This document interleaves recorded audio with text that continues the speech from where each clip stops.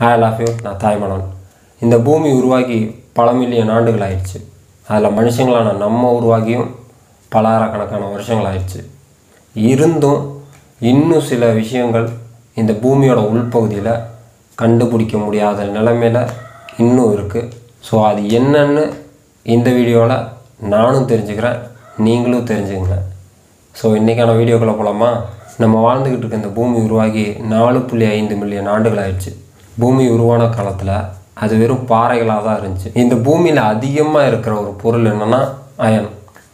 எண்பத்தஞ்சு சதவீதம் வந்து இந்த பூமியோட உள்பகுதியில் அயன் தான் இருக்குது நீங்கள் எங்கே வேணால் பார்த்துருப்பீங்க.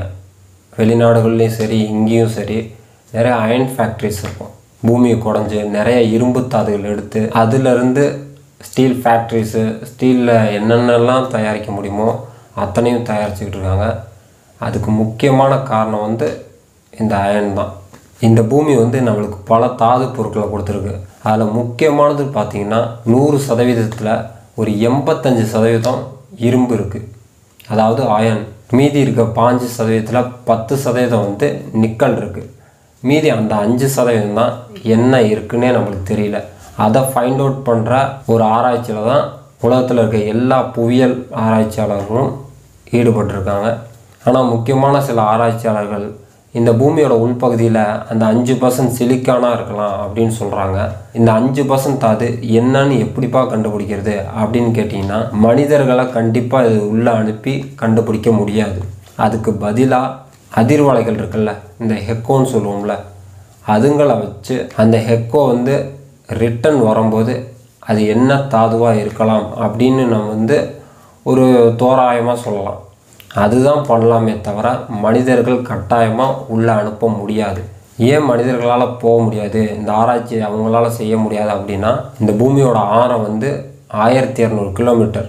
ஆயிரத்தி இரநூறு கிலோமீட்டர் உள்ளே போனால் தான் நம்ம அந்த மினரல் ரிசோர்ஸ் என்னன்னு கண்டுபிடிக்க முடியும். எப்படி கடல் மட்டத்துலேருந்து மேலே போக போக வெப்பநிலை குறையுதோ அதே மாதிரி பூமிக்கு கீழே போக போக போக வெப்பநிலை அதிகரிச்சுட்டு போயிட்டே இருக்கும். அந்த வெப்பநிலையை மனிதர்களால் தாங்க முடியாது. ஸோ அதனால தான் இந்த ஆராய்ச்சினா மனிதர்களை வச்சு செய்ய முடியாது.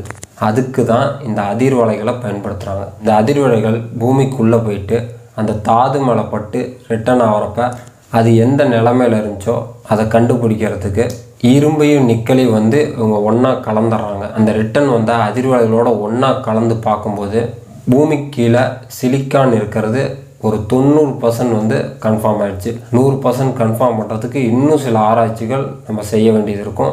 பூமியில் இருக்க அந்த அஞ்சு சதவீதமும் சிலிக்கான்னு கன்ஃபார்ம் ஆயிடுச்சுன்னா பூமி எப்போ உருவாயிருக்கும் அது என்ன நிலைமையில் இருந்திருக்கும் அப்படின்னு எல்லா விஷயமும் நம்மளால் தெரிஞ்சுக்க முடியும்.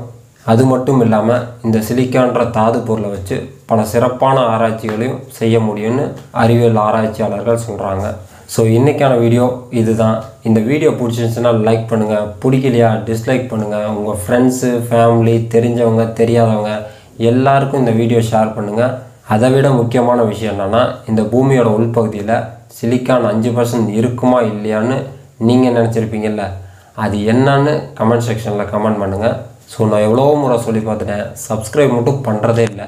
இந்த வீடியோனாச்சும் சப்ஸ்கிரைப் பண்ணிவிட்டு பாருங்கள் ஸோ சப்ஸ்கிரைப் பண்ணாதவங்க சப்ஸ்கிரைப் பண்ணுங்கள் பக்கத்துலேயே நம்ம அண்ணன் மணியாக இருப்பாப்புல. அவர் மண்டையிலே மடார்னு ஒன்று வச்சிங்கன்னா வச்சுங்க. தடார்னு பெல் சிம்பிளை பாரு அதில் ஆளுன்ற ஆப்ஷனை மட்டும் கிளிக் பண்ணிட்டீங்கன்னா அப்படி தான் சோழி முடிஞ்சு. ஸோ இது போல் புது வீடியோஸ் வந்துக்கிட்டே இருக்கும். அது வரைக்கும் நீங்கள் தான் கொஞ்சம் பொறுமையாக இருக்கணும்.